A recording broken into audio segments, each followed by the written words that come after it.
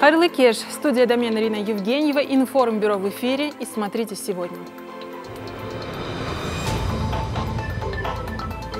Саммит ОДКБ в Москве, о чем говорили президенты, оправдались ли ожидания некоторых политиков о том, что организация будет расширяться. Старт льготного автокредитования. С какими проблемами столкнулись желающие купить машины? Стою в очереди полчаса. Какой я по счету, мне не сказали. Какова процедура оформления? И как изменятся цены на авто с пробегом? В Казахстане стало больше бедных. Почему тяжелее всех приходится большим семьям? Как выбраться из нищеты? Должно ли помогать государство? Как во сне, казахстанцы все чаще попадают в сети мошенников-гипнотизеров. Какими приемами обманщики добиваются своего? Использую те же фразы, которыми пользуетесь вы. Как распознать, что вашим сознанием пытаются манипулировать?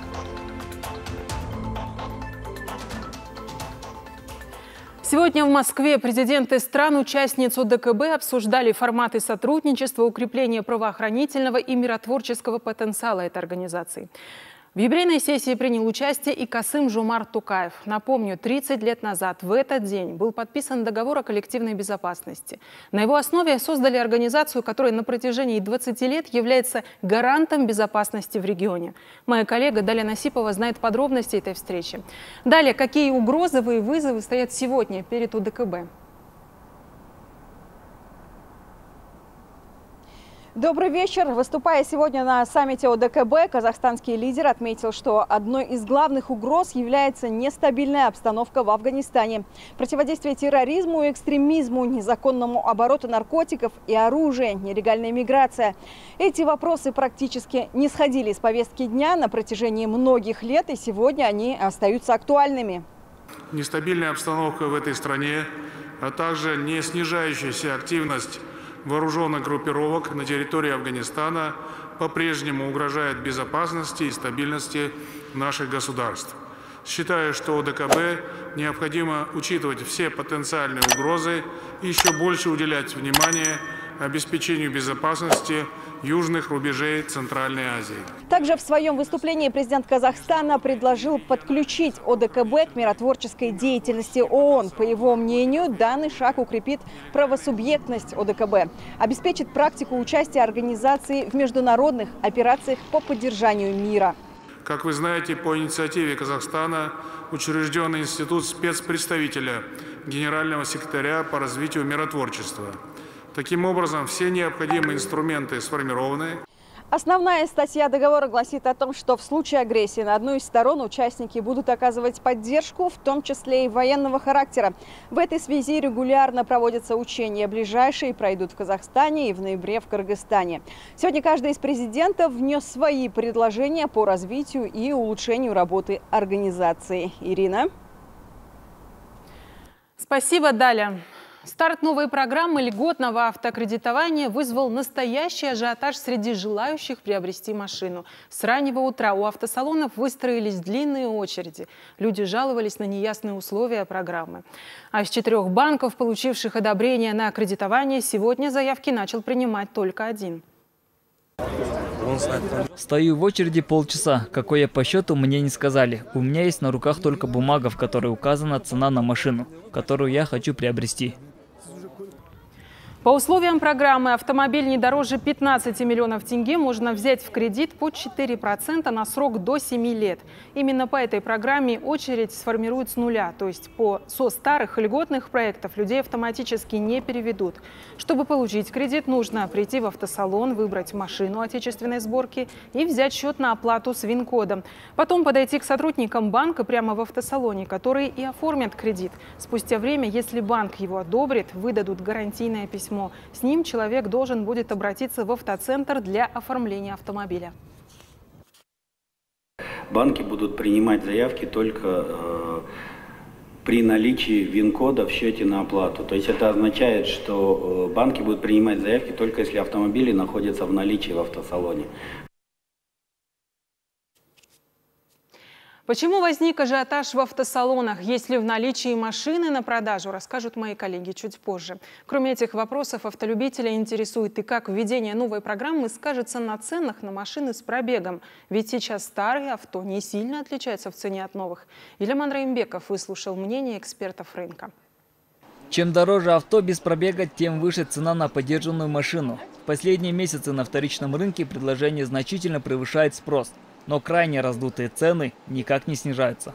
Пока дилерские центры не насытят клиентов своими автомобилями, то есть наличием своих автомобилей, за которые все готовы уже драться, да, особенно в параметрах льготки, я думаю, то, что вторичка будет реагировать. Запуском программы льготного автокредитования ожидается оживление авторынка. Многие начнут избавляться от старых автомобилей, только вот вряд ли кто захочет продавать по заниженной цене. Такого же мнения придерживается и автолюбитель Александр Лясота, который намерен продать своего железного коня и вырученные средства внести на приобретение нового. Я покупал эту машину зимой прошлого года за 3 миллиона. Сейчас она выросла в цене э, примерно 3 миллиона 600 тысяч. То есть машина новее не стала, но цена на нее выросла. Предпосылок снижения цен на авто из салона пока нет. Сейчас новый завоз из России приостановлен. И дилерам придется привозить из Европы и Азии. А это дополнительные расходы по логистике. Если э, эта масса покупателей не получит автомобилей в салонах, она пойдет на вторичный рынок. Вторичный рынок реагирует на повышенный спрос повышенными ценами. Автомобилей последних лет с минимальным пробегом достаточно на сайтах объявлений.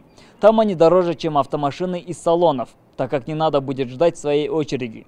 В целом, как утверждают эксперты, ценовой дисбаланс будет урегулирован свободным рынком только к концу года. Еляман Раймбеков, Влад Шишко, Информбюро, Алматы. Казахстане 80% бедных семей состоят из пяти и более человек, сообщает рэнкинг КИЗ. При этом число проживающих в семьях с очень низким достатком увеличилось за год в полтора раза. А если учесть бешеную инфляцию в этом году, то ситуация складывается очень тревожная. С нами на связи общественница и активистка Акмарал Басирова. Акмарал, добрый вечер. Добрый вечер. Вы работаете с такими семьями. Расскажите, это правда, что именно многодетные очень бедные? А, я еще, э, помимо того, что я э, общественник, еще я руководитель Центра поддержки матери Бахтутпаса Алатауского района. И у нас вот просто по Алатаускому району 12 тысяч э, женщин в нашей базе. Из них 60% это многодетные одинокие мамы, очень много одиноких мам, которые одни воспитывают от 4 до и, и более детей, да, получается, да, на самом деле многодетные семьи, у них ниже достаток, потому что ну, прокормить, одеть, обуть детей это очень тяжело в наше время. Как можно переломить ситуацию? Какие есть пути решения, по-вашему? А, ну, на данный момент, мне кажется, надо на законодательном уровне а, обеспечить вообще всех детей без исключения помощью от государства. А, в 2019 году мы писали в министерство а, письмо о том, чтобы не делили детей на, на многодетных, на малоимущих, на а, тех детей, которые э, из одни воспитываются мамами, там, ну, на разные ситуации не делить, а всем, всем детям платить пособие от 20 тысяч на э, ребенка, да? А что можно посоветовать таким семьям? Ведь не секрет, что многие имеют иждивенческие настроения. Есть такие? Есть и такие, да. А, есть и такие, да, пользуются детьми многие. Очень грустные, очень, очень много историй мы каждый день через себя пропускаем. И э, родителям нужно, нужно давать возможность работать. Вот только мы, наш центр, только у нас девиз «Мы не за рыбу, а за удочку». Понимаете, нужно мамам рабочие места э, дать. Раньше, например, Алмат, Алматинский хватчатобумажный да, фабрика была, да, ХБК, Алматы Клем. Все женские профессии, они полностью исчезли с нашего города, да. А, с папами нужна большая работа. Спасибо вам, удачи вам в вашей работе. С нами на связи была общественница Акмарал Басирова. Вирусная инфекция косит казахстанцев. Многие в эти дни жалуются на боль в горле, насморк и повышенную температуру. Некоторые склонны думать, что в стране начинается очередная волна коронавируса, точнее нового штамма стелса микрон, который уже циркулирует в 12 регионах. Как распознать эту инфекцию, узнавала Жамал Габдулина. Стелс с английского скрытный, а все потому, что хитрый вирус не так легко обнаружить, хоть он и не сильно отличается от омикрона. Он на самом деле является сейчас самым заразным. Как мы это можем видеть? Мы это можем видеть просто-напросто по увеличению количества заразившихся именно этим вариантом. То есть он сейчас вытесняет и дельту, вытесняет и омикрон предыдущий, э, и поэтому мы видим, да, что он более успешный, более заразный. Однако у нас нет никаких доказательств, э, чтобы говорить, что он более опасный. Число заболевших стелс омикроном растет по всему миру. Есть пики заболеваемости, но нет роста смертности, отмечает вирусолог. А все потому, что многие получили прививки. В Казахстане стелс циркулирует уже в 12 регионах. 99% можно сказать, циркуляция а, идет самого омикрона. А доля, а, значит, стелса омикрона тоже очень высокая. То есть, в принципе, на сегодня мы можем сказать, в тех регионах, где идет подтверждение случаев COVID-19, а, это практически связано с омикроном, учитывая тяжесть течения заболевания. Новый подштамм омикрона стелс имеет симптомы обычной простуды и выявить вирус можно только при сдаче ПЦР. Но сейчас среди граждан активно распространяются и другие инфекции. Почти 100%, процентно, почти у всех развивается эндотелит, снижается резко иммунитет. В результате этого те инфекции, которые дремали, которые вызывают ангину, стрептококи, стафилококи, вот, они активизируются. Решение – прививаться. В Казахстане доступны все виды вакцин. Стелс-омикрон опасен для людей с пониженным иммунитетом, страдающих диабетом и ожирением, а также для тех, кто старше 60. Медики уверяют, что около 40% непривитых приходится на них и настоятельно рекомендуют. Почувствовали простуду – изолируйтесь, наденьте маску. Жамал Габдулина, Ринат Булхаиров, Информбюро, Алмата. Власти Северной Кореи привлекут военных для борьбы с ковид. Сотрудники военно-медицинской службы армии будут развозить медикаменты по больницам и аптекам. Только за последние сутки в КНДР от коронавируса скончались 8 человек. Почти у 400 тысяч выявили симптомы. Штамп селс-омикрон проник в страну предположительно в конце апреля. За это время число заразившихся перевалило за миллион. Погибли 42 человека. При этом из-за многолетней изоляции в стране доступны только препараты старого поколения. Они малоэффективны против вируса, особенно для непривитых. Северная Корея не проводила массовую вакцинацию. Больным назначают обычный обычный парацетамол, применяют и народные средства. Поддержку соседям предлагают власти Южной Кореи в виде лекарств, вакцин и медицинского персонала. Если Северная Корея примет нашу поддержку, мы не пожалеем лекарств, вакцин и медицинского оборудования. Наши медики готовы прийти на помощь. Продолжаем информбюро. В Казаларде уже в 2024 году первых пассажиров сможет принять новый терминал аэропорта Куркытата. Его строительство начнут в феврале нового года. А сегодня проект терминала презентовал фонд Булата Утимуратова. После завершения всех работ аэропорт подарят городу. Сейчас международный аэропорт Казаларды выглядит вот так. Международным назвать его нельзя, так как не созданы необходимые условия для пассажиров. Фонд Булата Утимуратова намерен вложить 11 миллиардов тенге в строительство современного терминала. Аэропорт – главные ворота региона, один из наших главных объектов. Отношение гостей, прилетевших в наш город, формируется исходя из внешнего вида аэропорта, уровня комфортности и качества обслуживания. От имени всех жителей области выражаю благодарность фонду Булата Утимуратова.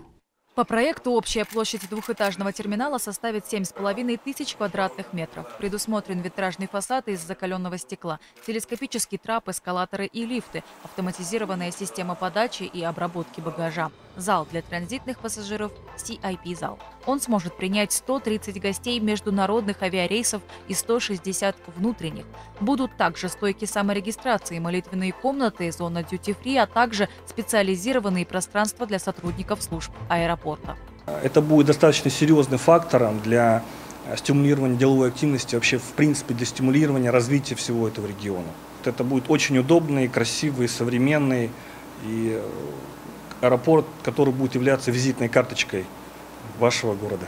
Проектирование терминала поручили турецкой компании, которая успешно создавала проекты аэропортов в некоторых странах. Старт строительных работ запланирован на февраль 2023 года, сдача в эксплуатацию в сентябре 2024.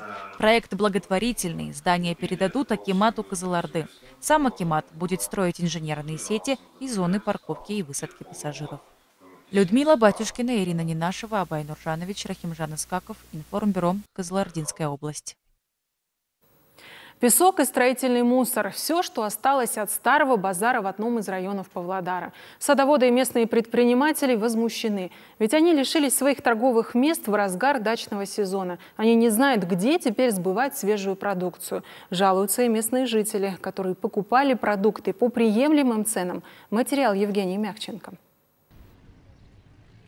Местные жители требуют вернуть рынок. Продукты на базаре, говорят, были прямиком с грядки. Цены приемлемые. Привозили продукцию и районные крестьянские хозяйства. Свежее молоко, масло, мясо, творог и яйца. Хотим, чтобы вернули базарчик, потому что для нашего района здесь вообще нету нигде базаров. Это очень далеко. Даже ни на берегу, ни здесь, нигде нету ничего абсолютно. Люди, люди бегут с работы, что-то могут купить, а, а сейчас нет. Этот район в Павлодаре до недавнего времени славился двумя достопримечательностями – Китайской стеной, самым длинным домом в городе, и местным базаром, которому было почти полвека. Теперь от него остались лишь несколько куч строительного мусора. Продавцы также возмущены. Они считают, что их просто лишили единственного заработка. Дачница Газиза продавала на этом рынке последние 10 лет, ведь пенсии не хватает. Ясное дело, неудобно, конечно. Коробки берешь, он ставишь, а когда это сейчас вот просто вот два пучка зелени и все. А когда ягода пойдет, помидоры, огурцы, тогда как? Все на земле раскладывать. И людей не стало, они просто знают, что здесь уже базара нет, и сидишь тут целыми днями вот с этими пучками. В городском акимате ответили, что территорию просто готовят под ремонт, но дачников и предпринимателей действительно попросили освободить торговую площадку до 25 мая. На данной территории будут предусмотрены места для реализации дачной продукции. Садоводам и дачникам данные места будут предоставляться на бесплатной основе. Текущем году э, запланировано проведение благоустройства данной территории. Дачникам пообещали павильоны, контейнерные площадки, урны и лавочки к началу осени. Но пока строительные работы так и не начались. Продавцы сомневаются, что им вернут их торговые места. Либо сделают высокую аренду, что скажется и на стоимости продуктов питания. Всего в Павлодаре около 10 торговых площадок для садоводов и дачников, но желающих продавать свою продукцию гораздо больше. Евгения Мягченко, Манбаембет, Информбюро, Павлодарская область. А жители Караганды просят продлить время работы общественного транспорта. Сейчас он ходит в основном до 8 вечера. Из-за этого люди вынуждены после работы добираться домой на попутках или заказывать такси. А это дорого. К тому же во многих городах Казахстана автобусы перевозят пассажиров до 11 часов вечера. Есть ли выход из ситуации? Узнавала Людмила Батюшкина. Для карагандинцев увидеть автобус после 8 часов вечера – настоящее чудо. Случается это только если экипаж не собрал план по выручке и решил в личное время выйти на дополнительный круг. Очень тяжело после восьми попасть домой. Они вот возле Абзала, возле ЦУМа, вот они стоят, они на такси ездят на 300, на 500 тенге. Ну вот в других городах я знаю, то, что они до 10, до 11 ходят автобусы, а вот у нас в Караганде именно после 8 это не доберешься до дома. После 8 уже все, нету автобуса. Отсюда с этого ДК до Майкидука можно свободно добраться пешком. Полтора, полтора часа.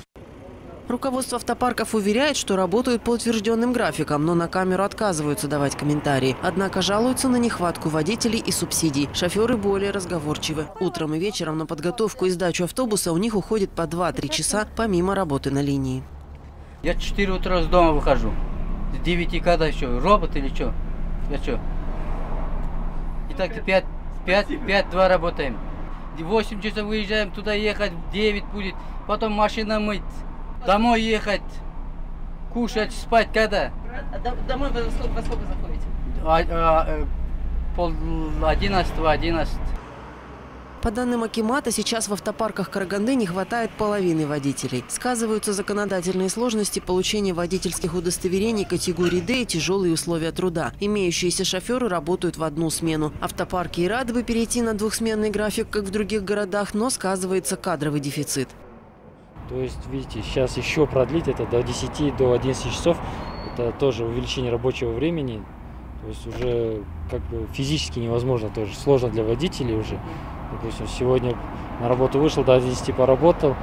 Он пока закончит, машину пока в гараж поставит, это уже поздняя ночь, да, нарушение всех трудовых норм будет. Жилые районы Караганды далеко друг от друга, между ними у автобусов большой холостой пробег. Это означает, что на протяжении маршрута нет смены пассажиров, а значит меньше выручка. Автопаркам это невыгодно. На этот год из бюджета выделили на субсидии для них 3,6 миллиарда тенге и, возможно, добавят осенью еще. Но, по словам перевозчиков, расходов это не покрывает. Поэтому власти даже не обещают, что автобусы будут ходить дольше. Людмила Батюшкина, Ирина Нинашева, Информбюро, Карагандинская область. В Казахстане активизировались мошенники, которые вводят своих жертв в состояние гипноза. Сразу несколько случаев произошло на юге страны. Пострадавшие, как правило, позже осознают, что сами отдали обманщикам ценные вещи. Наш корреспондент Анастасия Новикова расскажет, как распознать, что вас пытаются ввести в транс.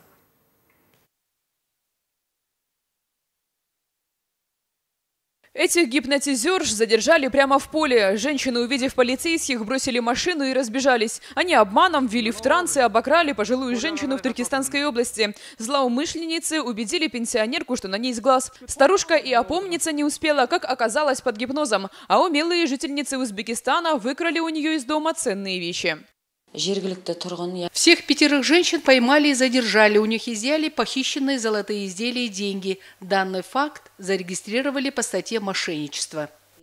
Полицейские говорят, такие факты в стране участились и советуют сразу обращаться в правоохранительные органы. По горячим следам найти таких воришек проще. Семья Сельмалик тоже попала под гипноз. По словам девушки, незнакомка пришла к ним в дом, ввела в транс родителей и унесла с собой все ценное. Только спустя несколько часов, придя в себя, они обратились в полицию. Мошенницу задержали. Она пришла к нам в дом, сказала, что ей плохо, а у нас как, мы же гостеприимные, всем помогаем. Она загипнотизировала маму, папу и бабушку, сказала, что нашей семье угрожает опасность. Говорит, что ваша дочь, то есть я умру, если мне не помочь, вела в транс и обокрала дом, украла даже посуду.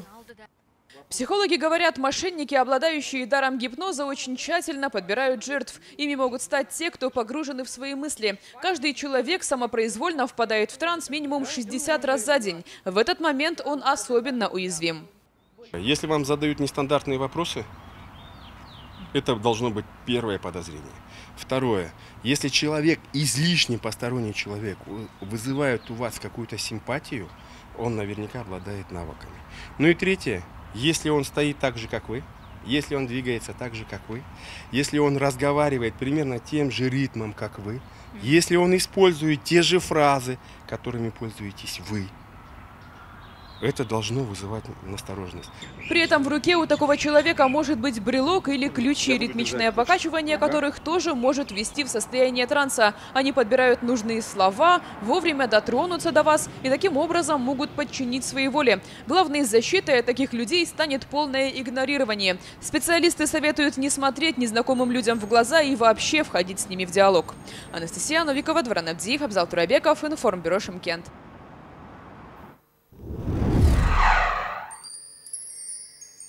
Oppo, мировой производитель смартфонов и умных устройств, представил новую модель. Reno 7 весьма выделяется из всех смартфонов, которые присутствуют на рынке. Одна из главных особенностей – неповторимый дизайн. Стильный корпус с четкими гранями и задняя поверхность из стекловолокна, которая имитирует текстуру кожи. Такое есть только у Oppo.